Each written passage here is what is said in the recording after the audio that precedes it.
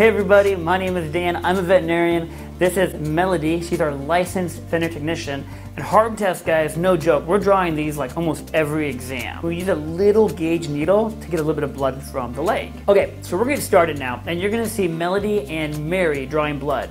For the front leg, the assistant will roll off the cephalic vein, allowing blood to pool distal or farther out on the extremity. This will allow for the veterinarian, the licensed veterinary technician, to visualize the cephalic vein and to get blood from it.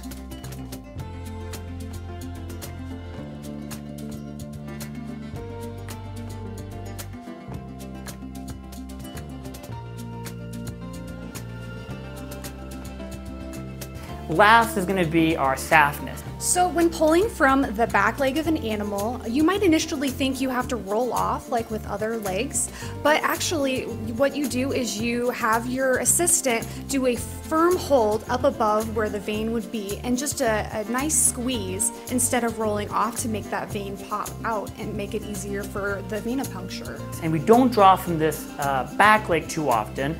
With kitty cats, we tend to draw from the inside, doggies the outside, we do this predominantly for the nervous dogs. Um, think of it this way, if we can stay away from their face and their front legs and just do a gentle poke on the back leg, they may not be as nervous next time and they may not even notice it. That's why a veterinarian may do the back leg because it's still a great area to get blood from. Uh, Mary, what are your thoughts for the blood draw? Great words, like, I like the, the, you know, that thing.